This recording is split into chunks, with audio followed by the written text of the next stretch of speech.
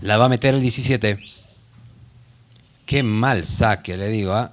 Si es que en algún momento usted necesita mostrarle a alguien cómo no se debe hacer un saque de banda, muestre este video que acaba de hacer Steven Freire. ¿Qué pasó con Freire? Y, y es un chico de cancha, de, de- de largo recorrido en el, en el- en el ámbito futbolístico. Claro. Pero se olvidó hoy día. ¿ah? Voy a salvarle los muebles a Freire y diré que la pelota se le resbaló.